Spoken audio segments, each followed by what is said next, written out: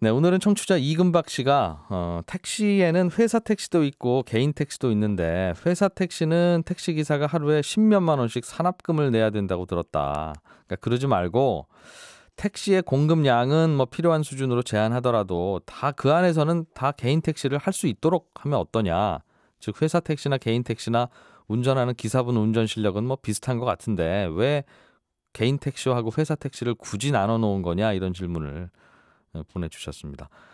이게 우리나라에 택시가 몇 대 안 돌아다니던 시절에는 자동차가 귀하고 비싸서 택시 운전을 하고 싶어도 이게 택시 살 돈이 없지 않습니까? 그러니까 택시를 목돈 주고 사서 이제 택시 기사님한테 택시를 빌려주는 그런 택시 회사가 필요했는데 요즘에는 뭐 한 6개월치 월급 정도만 모으면 택시 한 대 살 수 있고 그 돈도 없어도 뭐 할부로 사면 되니까요. 돈 없어서 택시 못 사는 일은 없는데 그래서 사실 택시 기사분들 중에 오늘부터 개인 택시 하시고 싶은 분들은 신청만 하시면 됩니다. 그러면 아마도 대부분의 회사 택시 운전하는 분들이 개인 택시를 신청하고 다들 개인 택시 하실 겁니다. 그런데 뭐 그렇다고 택시 숫자가 더 늘어나는 것도 아니고 그냥 회사 택시가 개인 택시로 바뀌는 것 뿐이니까요. 그런데 그게 사회적으로 뭐가 문제가 되느냐?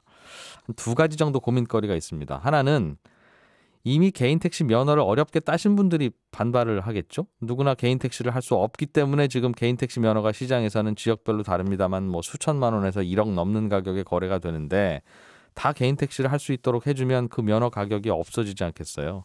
개인 재산권 침해라는 거죠. 뭐 예를 들면 지난달에 1억 원 주고 개인 택시 면허 사신 분들은 오늘 갑자기 정책이 바뀌면 그냥 1억 원을 허공에 날리게 되는 건데 그 반발을 어떻게 무마하느냐 이게 문제고요. 두 번째 문제도 참 모호합니다. 이게 회사 택시가 없이 다들 개인 택시만 하시면 눈이 오거나 비가 오는 날 운전도 어렵고 나가봐야 길만 막히고 그런 날은 다들 택시 운전을 안 하고 집에서 안 나오실 수가 있다는 겁니다. 그렇다고 택시 왜 안 나오셨냐고 출석 부를 수도 없고 그럼 정작 택시가 더 필요한 날 택시 공급이 줄어서 시민들이 난처해질 수 있다. 그래서 비 오고 눈 온다고 안 나오면 이제 손해가 좀 더 큰 회사 택시 기사는 그렇게 할 수 없지 않습니까? 산업금을 내야 되니까.